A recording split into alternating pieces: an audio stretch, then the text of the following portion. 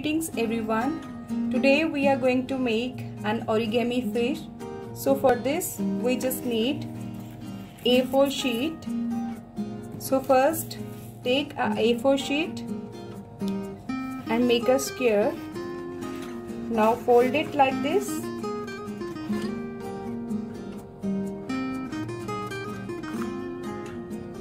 Now after this take a pencil and draw a line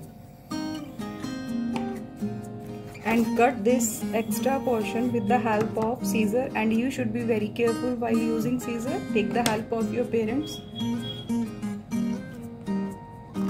Now cut this extra portion. Here we have a square. Now fold the paper like this. Fold it into half and make a fold again open this. Now fold it from the other side. Now open this and fold it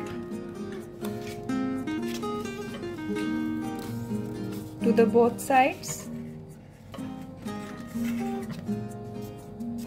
Now after this take this and make these ends together.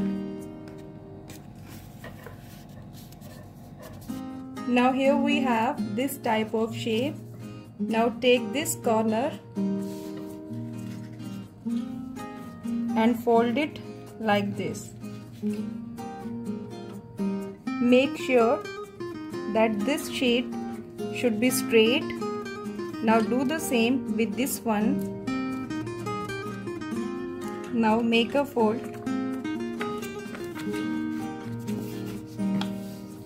Look at this line. Now again fold it like this. Now here we have this type of shape. Now take these corners and fold it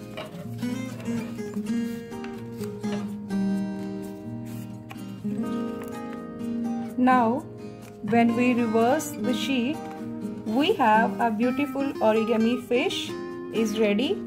Now let's do some detailings. First of all I am going to paste an artificial eye on this side with the help of glue.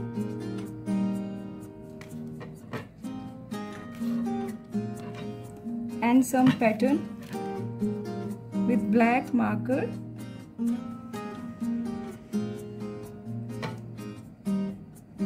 draw some curve lines.